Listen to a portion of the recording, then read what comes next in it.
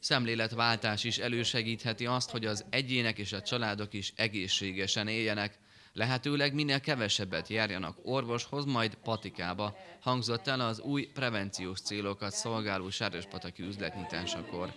A nemzetközi és személyes tapasztalatokra építve döntött úgy a tulajdonos, hogy kiterjeszti, nyitottá teszi mindenki számára az Alternatív Egészségcentrumban a már többszörösen bizonyított Kovács Magyar András által kifejlesztett egészségmegőrző praktikákat. Minden betegség a lelki, lelki ö, problémákkal kezdődik, és ö, és tulajdonképpen arra szeretném fölhívni az emberek figyelmét, hogy addig kellene tennünk magunkért, illetve az egészségünk megőrzéséért, amíg nem következik be a betegség.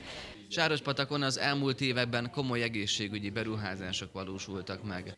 Átadták a kistérségi járóbeteg szakellátót, új szakrendeléseket indítottak el.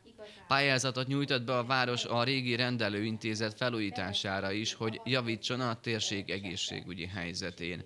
Ezek a fejlesztések és az alternatív gyógymódok jól kiegészítik majd egymást, mondta a város polgármestere. A kettőnek egymásra kell épülnie, a prevenciónak, a megelőzésnek és a tényleges gyógyításnak. Ezt pontosan látom, mint testnevelő tanár, hiszen nekünk is az a, az elsődleges szempontunk, hogy olyan egészséges fiatalokat neveljük, akik közül nagyon kevesen jutnak majd el az orvosi rendelőbe, és veszik igénybe a gyógyszertáraknak a szolgáltatását. Az egészségcentrum egyik különlegessége a mindenki számára hozzáférhető kristálygyógyászaton alapuló cseppek, valamint az alternatív gyógymód egyik alapját adó talp és nyirokmasszázsok.